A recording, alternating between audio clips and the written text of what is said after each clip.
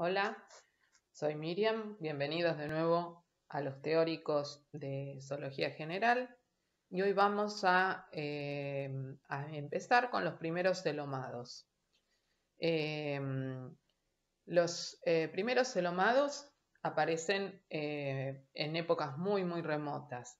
De hecho, en el precámbrico, los animales más complejos que, poblaban los mares eran acelomados, probablemente cavadores ineficaces, es decir, que no podían eh, enterrarse con facilidad. Entonces, eh, cualquier eh, animal que desarrollara espacios llenos de fluido tendría una sustancial ventaja evolutiva, ya que esos espacios podrían servir de esqueleto hidrostático y proporcionar entonces, proporcionar entonces una excavación eficaz. Lo más sencillo y quizás el primer modo de conseguir un espacio lleno de líquido en el interior del cuerpo haya sido la retención del blastocel. Recuerdan la cavidad primaria del cuerpo, que aparece, la primera cavidad que aparece en el embrión, que es el caso de los pseudocelomados. Sin embargo, esta aparición o esta retención de, la cavidad primaria no fue la solución más eficaz, la mejor solución evolutiva, ya que los órganos quedaban como sueltos, entre comillas, en esa cavidad del cuerpo. Algunos descendientes entonces de esos acelomados precámbricos desarrollaron un espacio lleno de líquido en el interior de la hoja mesodérmica, y eso es lo que llamamos celoma. Entonces, una cavidad que está completamente tapizada por hoja mesodérmica. Eso significó entonces que el espacio quedara limitado y los órganos suspendidos dentro de ese espacio, pero sostenidos por una eh, hoja eh, delgada que se llaman mesenterios. Esos mesenterios entonces lo que hacen es relacionar, eh, sostener a esos órganos en el interior de esa cavidad y este, esta, digamos, disposición anatómica eh, constituye un paso importantísimo eh, en la evolución de formas de mayor tamaño, de formas más complejas. esa combinación entonces de una cavidad que puede funcionar como esqueleto hidrostático, pero que está, tiene, es acompañada por musculatura y esa distribución estable de los órganos sostenidos por mesenterios ha eh, llevado a, una, eh, a un avance evolutivo importantísimo y a la aparición en esos tiempos remotos de los primeros celomados. Son muy controvertidos los parentescos entre los grupos que veremos a continuación, Em, vamos a empezar hoy con lo que llamamos el clado Lophotrochozoa, que tiene ese nombre tan extraño, pero que hace alusión justamente a em, las sinapomorfías, o sea, los caracteres avanzados compartidos que tiene este grupo y que están referidos a la presencia de una larva llamada larva trocófora y la presencia de un órgano tentacular y ciliado que se llama lofóforo. O sea, el nombre, la parte lofo de ese nombre raro es eh, alusivo justamente al lofóforo y trocozoa alude a la presencia de una larva trocófora. Esto no significa que estos caracteres los vamos a encontrar en todos los representantes del clado, pero sí este, pueden estar o no, ¿sí? Eh, decíamos entonces que esos parentescos eh, entre estos grupos que vamos a ver eh, en estos prácticos que vienen, en estos teóricos que vienen, son este, esos parentescos son muy controvertidos porque aún no hay una, una característica firme que pueda sostenerlo, pero secuencias en los nucleótidos de ADN parecen emparentar a los moluscos, que son los que veremos en este teórico eh, a los anélidos y a los lofosforados justamente en este clado. Eh, la hipótesis que más convence a los investigadores es que los moluscos y los anélidos, que los veremos en el teórico próximo, surgieron juntos cuando aparece justamente el celoma. Pero los moluscos se separan antes porque son, es un grupo que no tiene metamería. En cambio, los anélidos, que son los que vamos a ver en teóricos posteriores y los artrópodos, que también los vamos a ver más adelante, sí comparten esta característica tan interesante que es la metamería. Em, aparentemente, el grupo que vamos a ver hoy tiene una, que es el de los moluscos, surge de un grupo en particular que se llama caudofobeado. Vemos aquí un árbol donde vemos cómo se van separando los grupos y em, nos viene bien para refrescar entonces lo que vimos en teóricos anteriores. Fíjense que de la base de este árbol se separan primero los parazoa, que eran los poríferos, las esponjas, y después ya entramos en los verdaderos eumetazoa. Eumetazoa que tenemos por un lado a los animales diblásticos, o sea, los que tenían ectodermo y endodermo, que eran los nidarios, ¿se acuerdan? Con simetría radial. Y por otro tenemos a los grupos de los triblásticos, los bilaterios. Eh, hoy vamos a, ver un grupo de protostomados que son los Lophotrocozoa, pero nosotros ya habíamos visto que en este árbol no está representado otros triblásticos que eran los eh, acelomados. ¿Se acuerdan? Los eh, platelmintos. decíamos entonces que la sinapomorfía de estos Lophotrocozoa, que están ahí marcados en rojo, son la presencia entonces de ese órgano tentacular y ciliado llamado lofóforo, la presencia de una larva nadadora llamada trocófora y hay una característica que algunos autores la ponen como también sinapomorfía del grupo y otro no, pero la vamos a nombrar igual, que es la del desarrollo en espiral. Aquí vemos justamente lo que se eh, conoce como desarrollo en espiral. Fíjense, estamos hablando de un embrión, donde dice una célula, esa es la célula cigota, o sea, la célula huevo que surge de la unión de óvulo y espermatozoide. Comienza entonces un proceso en, el desarrollo embrionario que es la de eh, segmentación, donde hay primero dos células, luego cuatro, luego ocho, 16, 32, o sea, es una progresión geométrica. ¿Qué significa entonces un desarrollo en espiral? que las células se van dividiendo, pero en un sentido diagonal, ¿sí? A contraposición de lo que es un desarrollo eh, en sentido radial que sigue los ejes, esto tiene un desarrollo en un sentido diagonal. Entonces el huevo se divide oblicuamente con respecto al eje, el, eje principal, que es el polo animal y el polo vegetal, que es el eje vertical del embrión, pero lo hace en forma oblicua. Por eso, los integrantes de este clado que tienen este tipo de segmentación lo denominamos desarrollo en espiral. Vamos a refrescar un poco eh, las cavidades del cuerpo que ustedes ya, ya han visto eh, en otro teórico y eh, vamos a refrescarlas como para ver bien qué es, cuál es el grupo que vamos a ver hoy y qué características tiene. Por un lado, recuerden que vimos a los acelomados ya sea compactos, eh, como en el caso de eh, los eh, platelmintos, que decíamos que tenían el blastocel completamente relleno de mesodermo. ¿Se acuerdan que vimos a las planarias, vimos las tenias en un teórico anterior? Y, aunque no los vimos, los vamos a ver más adelante, teníamos los acelomados fluidos.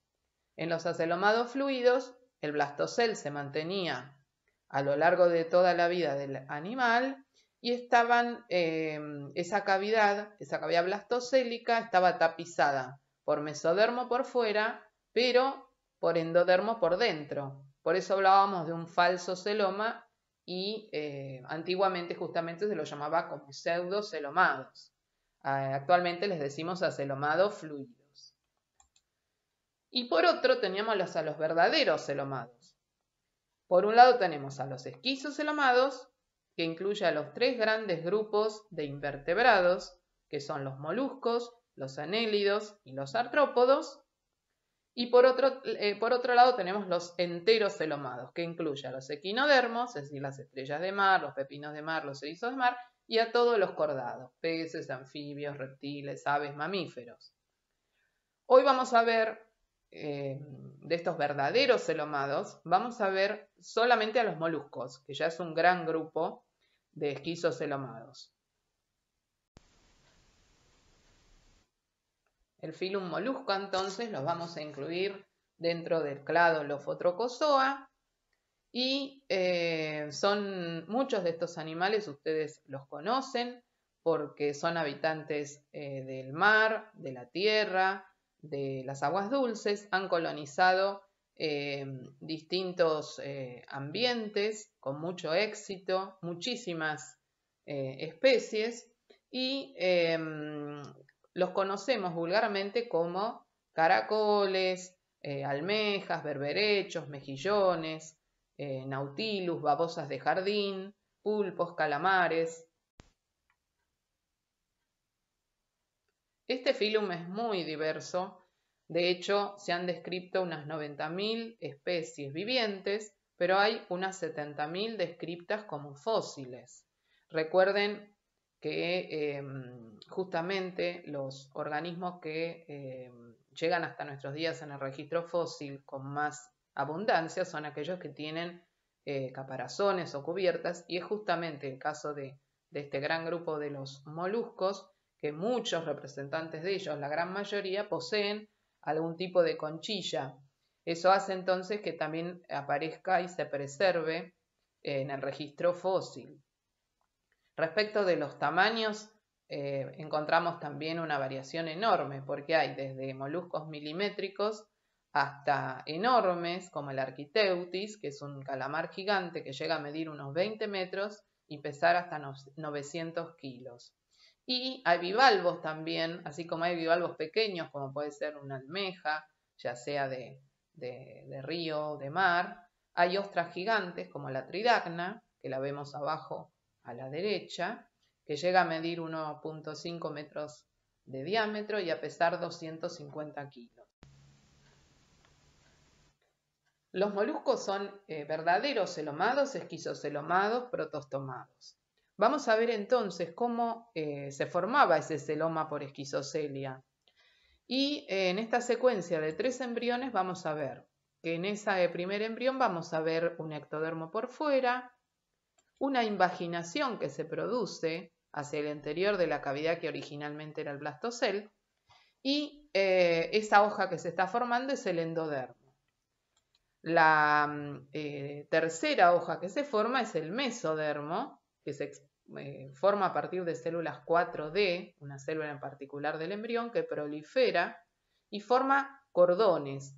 Esos cordones están a los, lados entonces de esa invaginación y se llaman cordones teloblásticos. Em, la cavidad que está delimitada por endodermo es lo que llamamos arquenterón o tubo digestivo primitivo del embrión.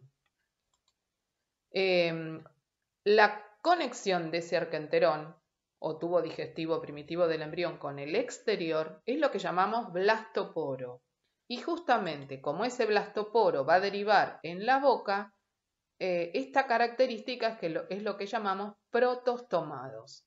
Ahora, fíjense que em, el ano se forma como una formación nueva a posteriori. Lo que me interesa ahora es que el blastoporo da origen a la boca. Esa es la característica de los protostomados.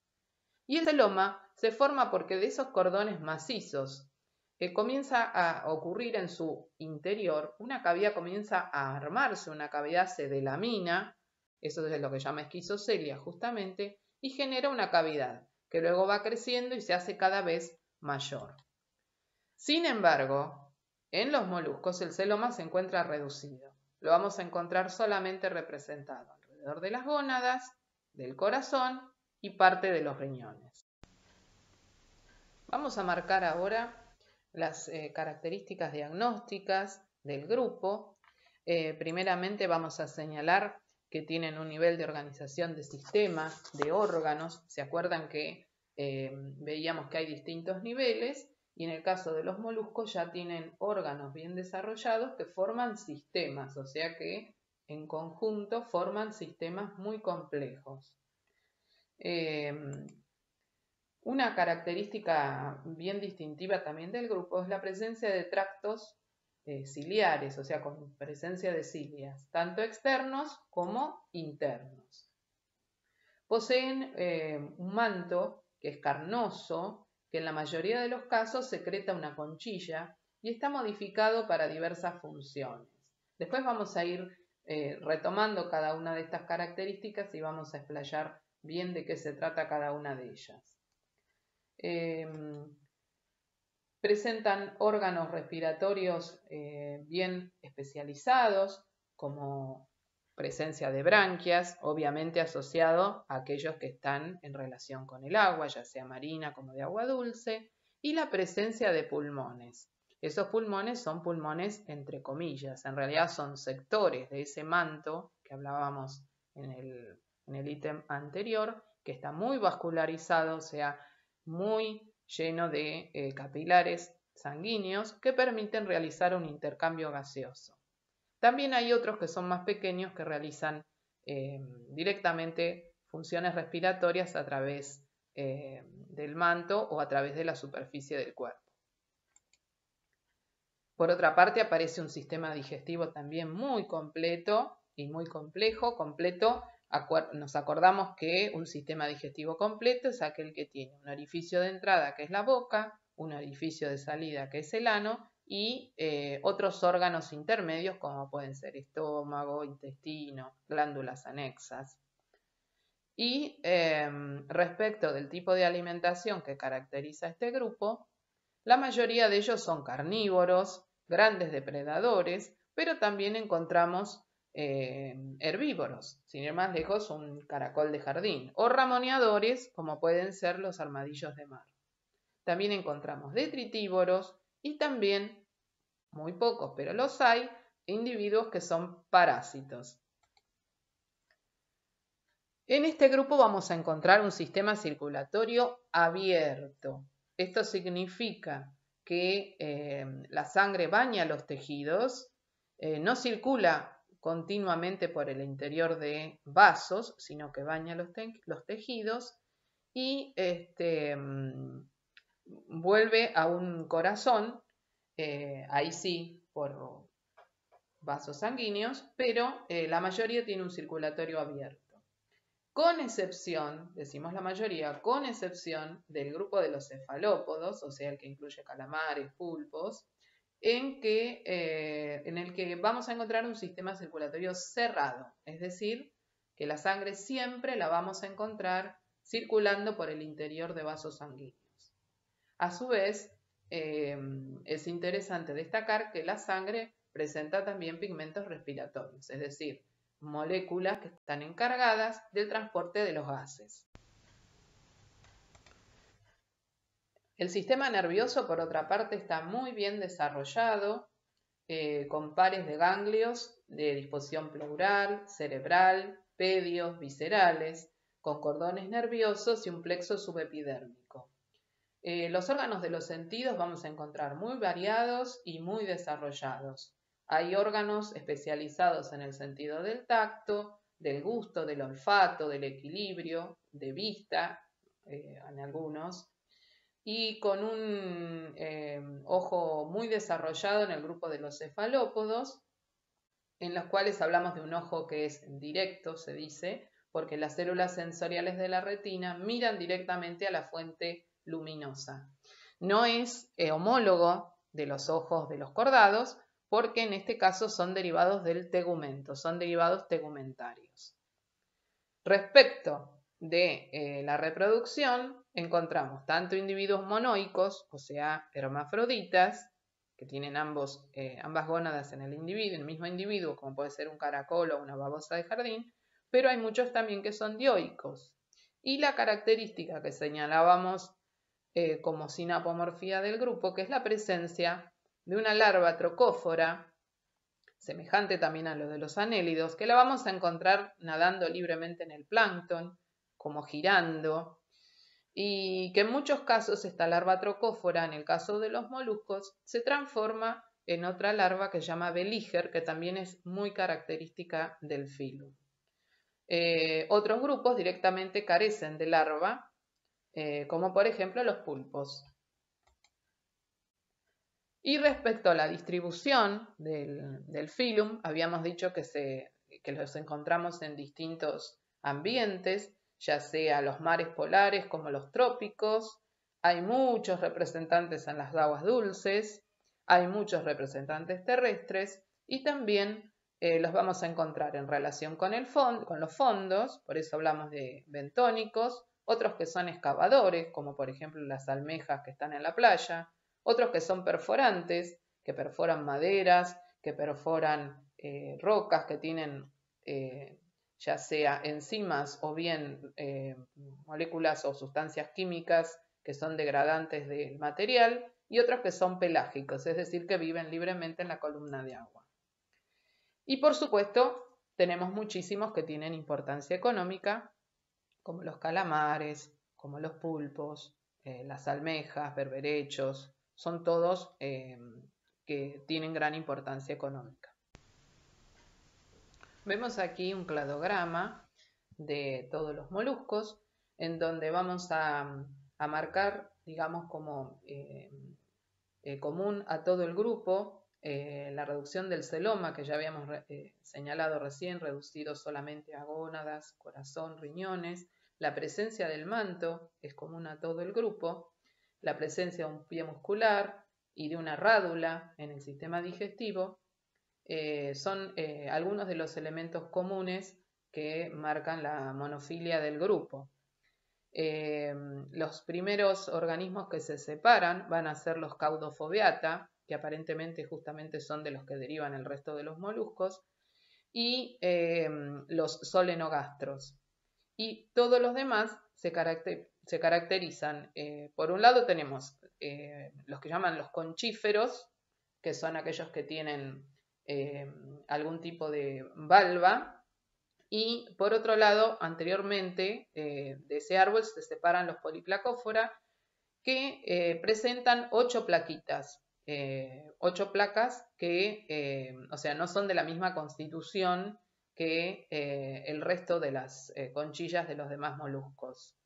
Y tienen múltiples branquias que están distribuidas ventralmente todo alrededor de un pie muscular. vamos entonces a ir viendo las características del grupo y las características particulares de cada una de las clases. Para entender un poco la anatomía eh, de este grupo, vamos a eh, tomar a este modelo generalizado, digamos, es un molusco hipotético, eh, que nos va a servir de base para ordenar la anatomía y las partes del cuerpo. Justamente vamos a hablar de la presencia de una cabeza, de un pie y de una masa visceral. Esas van a ser las tres partes en que vamos a dividir eh, al cuerpo de este molusco. Vamos a empezar viendo qué características presenta el sistema digestivo. El sistema digestivo, eh, a nivel de la cabeza, se abre una boca que está bien desarrollada, presenta órganos de los sentidos, y esa boca presenta una rádula esa estructura, la rádula, se encuentra en todos los moluscos con excepción de los bivalvos y es una cinta sobre la que se encuentran eh, filas de diminutos dientecitos, de pequeños dientes que están dirigidos hacia atrás. Em, hay músculos muy complejos que mueven la rádula junto con el odontóforo, que es la estructura que lo sostiene. Lo vamos a ver en la diapositiva siguiente con más detalle. Em, semejante es ese odontóforo un cartílago y mueven para adelante y para atrás. Y esa em, rádula tiene funciones de eh, corte, sirve para cortar, perforar, raspar, rasgar y convierte al alimento em, en pequeñas partículas, digamos, lo hace más, más pequeño, es una primera eh, trituración y lo lleva hacia el interior como si fuera una cinta transportadora. Em, el sistema digestivo continúa con un estómago que está bien desarrollado, un intestino y hay una glándula digestiva también anexa, que también se llama hepatopáncreas, que secreta enzimas y eh, acelera mediante la acción enzimática el proceso de digestión. Tienen digestión extracelular. Termina entonces las egestas, o sea, los productos de desecho, eliminándose por el ano. Aquí vemos con más detalle eh, lo que decíamos de la rádula. Entonces, la rádula, eh, decíamos que están todos los moluscos, excepto bivalvos, y eh, está sostenida por esa estructura como si fuera un cartílago, que es el odontóforo, que lo mueve hacia adelante y hacia atrás y permite justamente por, por esa acción y esas hileras de pequeños dientes, raer, raspar, triturar ese alimento que está incorporando es una estructura que es, eh, tiene carácter diagnóstico. Ahí vemos a la derecha eh, dos fotografías, son de especies distintas, pero fíjense lo poderoso que se ve bajo microscopio electrónico. Siguiendo con el orden que marcábamos, decíamos que además de una cabeza había un pie. Y ese pie tiene eh, distintas funciones. Puede estar adaptado para la locomoción en tierra, como es el caso de los caracoles, Puede estar em, adaptado a la fijación al sustrato, como vemos en la fotografía de la derecha en un mejillón. En ese caso, el pie está reducido y lo que estamos viendo se denominan hilos del viso. Esos hilos del viso son em, eh, una secreción de proteína que tiene, em, es un conjunto de muchísimas, eh, muchísimos aminoácidos que conforman proteínas con los cuales se asientan a sustratos, es decir, son animales que viven en su vida adulta fijos, adheridos mediante el viso y tienen entonces un pie bastante reducido justamente porque no se mueve. Después los vemos eh, como en un disco fijador, como abajo a la izquierda en las lapas, eh, que hacen como una especie de ventosa, si han tenido oportunidad de, ver algún grupo de estos en, el sur, en la Patagonia, ese pie hace como una especie de ventosa, son muy difíciles de, separar de, las rocas, o sea, no están firmes, están eh, adheridos, pero no con un cemento, sino que hacen una especie de vacío. Después tenemos el, que vemos abajo a la derecha, que es muy característico, lo han visto en las playas, como las, ese pie en forma de hacha, eh, es lo que, le, lo que le da el nombre al grupo de pelecípodos, o bivalvos, o sea, los que tienen dos valvas como las almejas, que usan ese pie para enterrarse. Y por último, los que vemos en el centro, que son los cefalópodos, en los cuales em, el pie está modificado en la región de la cabeza, forma un sifón que sirve para la propulsión. Em, esa propulsión es la propulsión a chorro, característica de calamares y pulpos que les permite eh, nadar rápidamente y alejarse. Em, ese pie muchas veces secreta un mucus que sirve para la adhesión o bien sirve para contribuir al deslizamiento, por ejemplo en los caracoles, eso lo han visto que deja eh, ese mucus característico.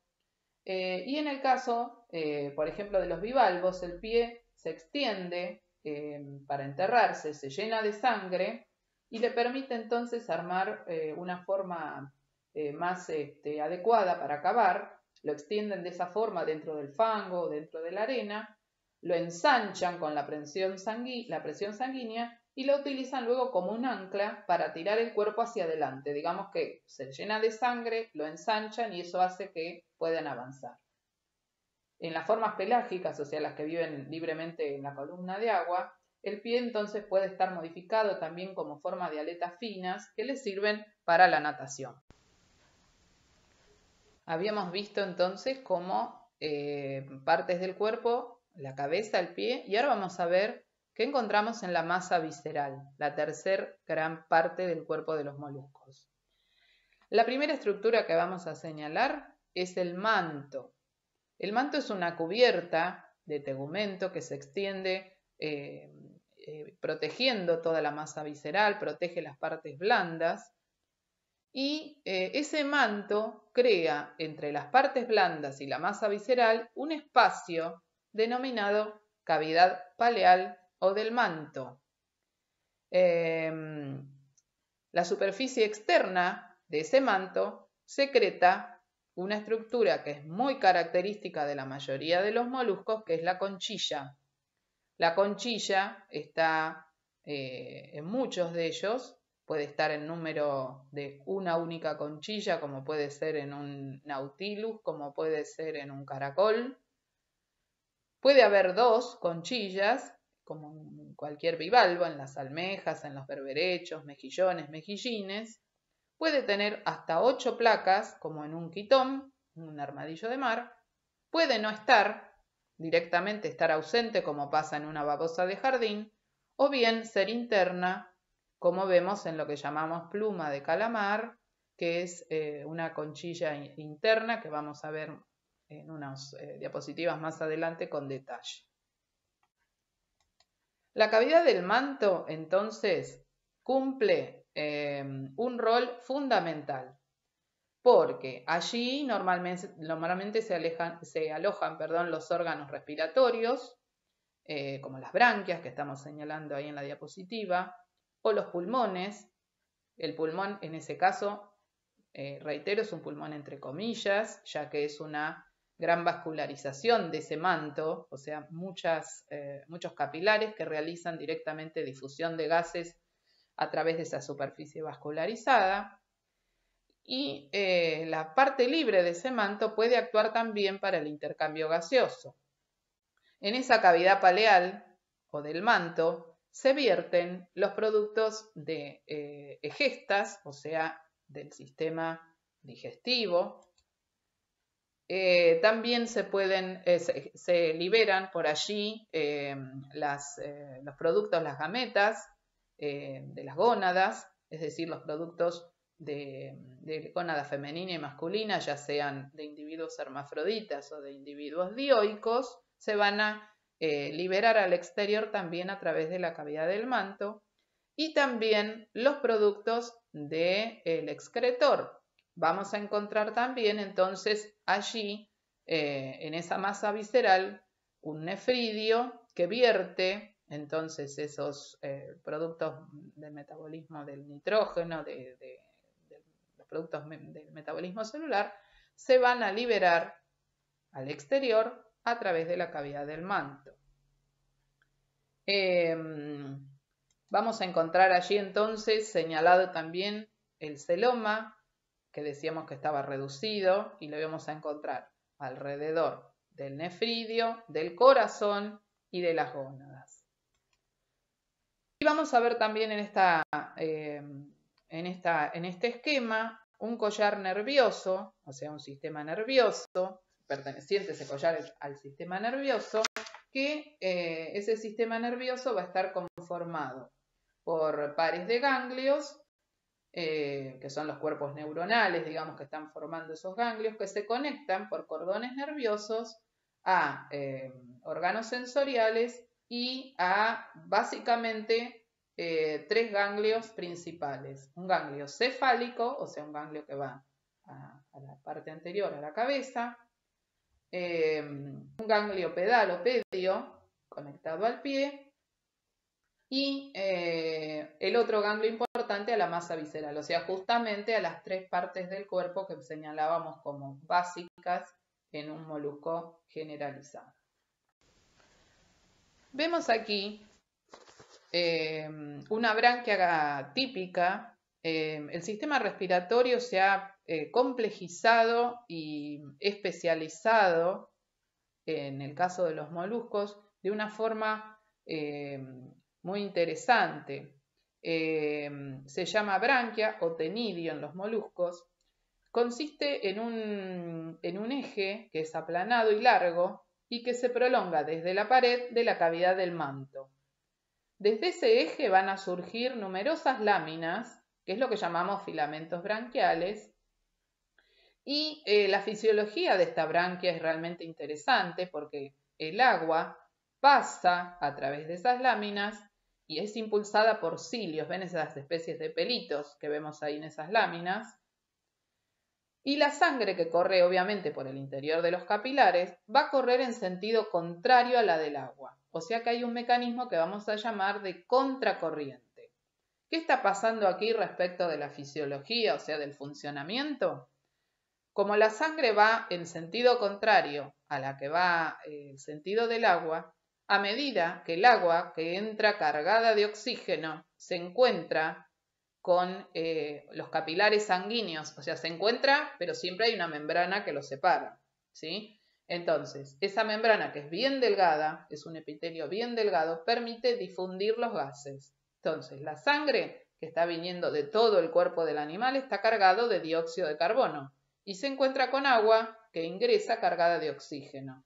Entonces, como ese sector separado apenas por una membrana se contacta el oxígeno eh, con la sangre cargada de dióxido de carbono, molécula a molécula se van intercambiando. Por cada molécula de dióxido que se entrega al agua que va a salir del animal, el agua que entra le entrega una molécula de oxígeno. Eso hace que, si lo vemos en, un gráfico de, eficiencia, en, eficiencia respiratoria, vamos a ver cómo esa, sangre se va cargando a medida que avanza eh, de oxígeno y va liberando por difusión el dióxido de carbono. Eso hace que eh, la eficiencia en la captación de oxígeno sea muy grande. Em, los dos tenidios se disponen eh, en los lados opuestos de, la cavidad del, manto, de modo que eh, esa cavidad queda dividida en dos partes. Una cámara la vamos a llamar cámara inhalante o incurrente y una cámara exhalante, o sea, un lugar por donde ingresa el agua y un lugar por donde egresa el agua cargada de dióxido de carbono. Vamos a ver ahora eh, cómo está formada la conchilla. Decíamos entonces que la mayoría de los moluscos presentan una conchilla. Eh, esa conchilla está formada por básicamente tres capas. Eh, el material inorgánico que posee esa conchilla es carbonato de calcio y el material orgánico es conquiolina, que es una proteína. Ahí vemos algunos ejemplos de conchillas como son eh, las tridagnas, las cipreas, nautilus, caracoles, quitones.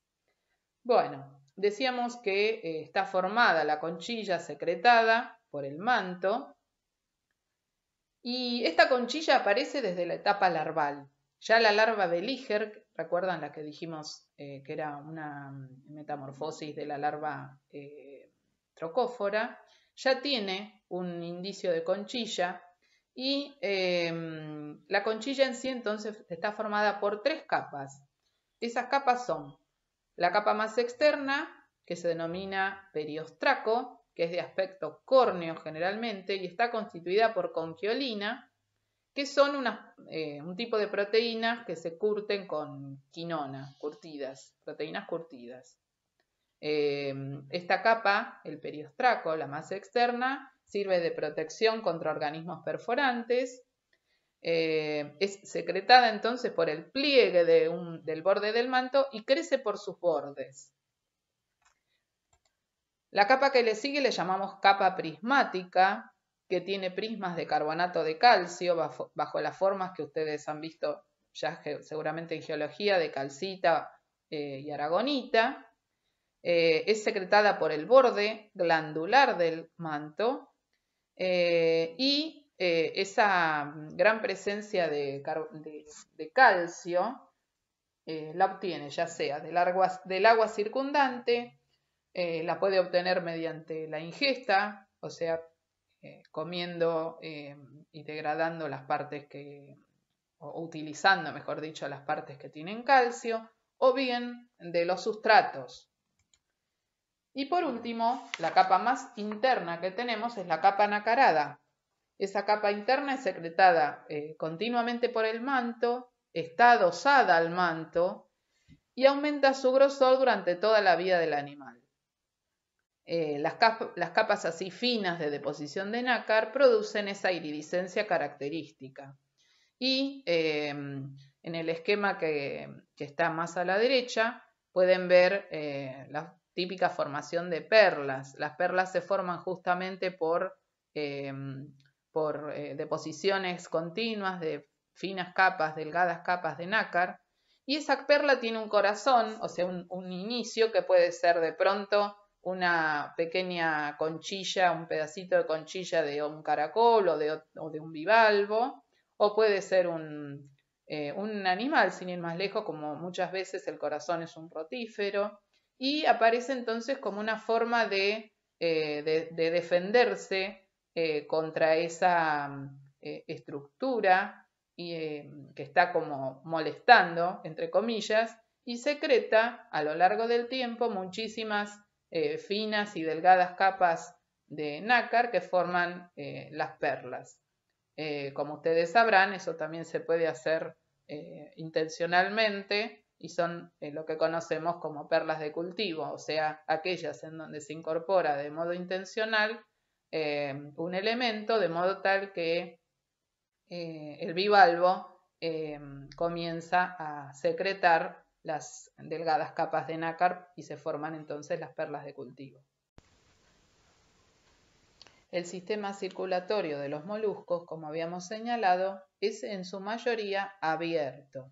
Eso significa que el corazón, recordemos que era un corazón tricameral, o sea que presenta tres cámaras, eh, va bombeando la sangre y esa sangre llega a los espacios que se encuentran en los tejidos y los baña, digamos, baña directamente los tejidos.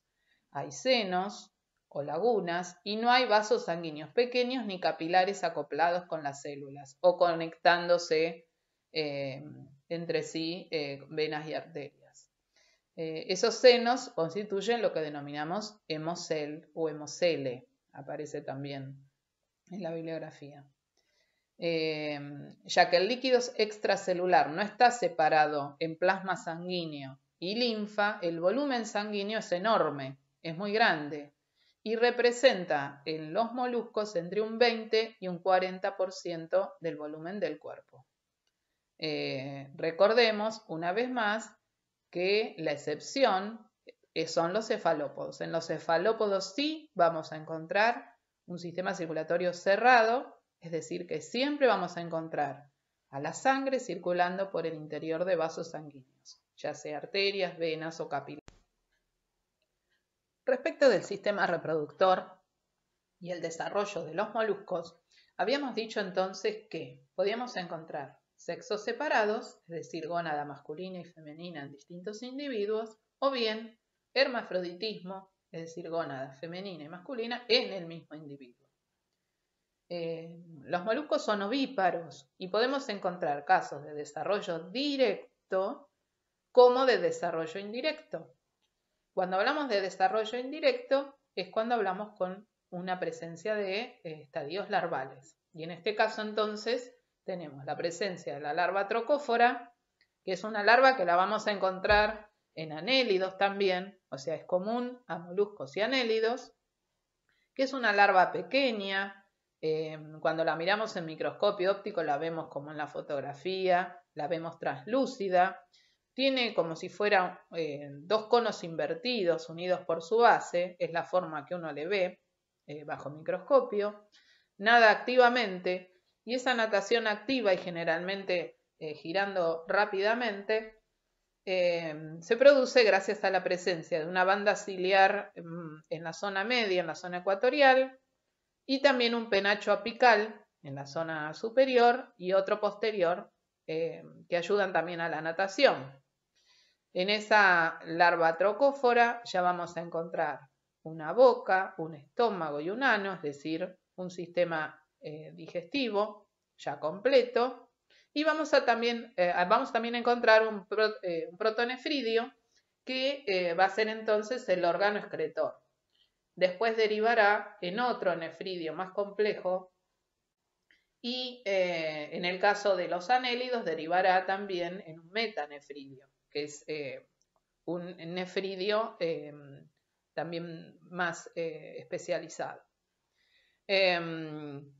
Las pruebas moleculares y de desarrollo agrupan a los moluscos, a los turbelarios marinos que vimos la semana pasada, a los braquiópodos, que los vamos a ver más adelante, y otros grupos pequeños en un clado particular, que se llama clado trocozoa, dado justamente a las características comunes que presenta la larva trocófora en estos eh, grupos de organismos.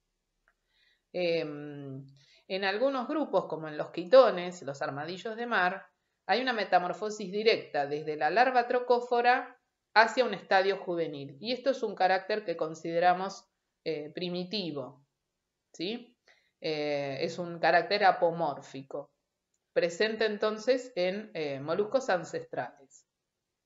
La mayoría de los moluscos pasa por un estadio de larva beliger o beliger, en donde vamos a encontrar ya esbozos de pie, una conchilla o protoconcha y un manto. Em, dentro de los bivalvos, o sea, de tipo como de mejillones de agua dulce, vamos a encontrar a su vez esa larva que vemos abajo a la derecha, que es la larva gloquidio, que es muy particular porque son larvas que son parásitas de branquias de peces. ¿Vieron cuando dijimos que entre los hábitos alimenticios teníamos eh, carnívoros, depredadores, herbívoros, ramonadores? También señalamos que había eh, parásitos. Y justamente el parasitismo lo vemos, por ejemplo, en estas larvas eh, de agua dulce de bivalvos, que son parásitas de peces. La diapositiva que coloqué abajo es justamente porque a lo mejor han visto en algunas zanjas o lagunas, han visto esos, esas puestas que son rosadas. Bueno, esos son huevos de caracol. La puse justamente porque siempre hay controversias respecto de qué es eso que aparece eh, a los costados de la zanja.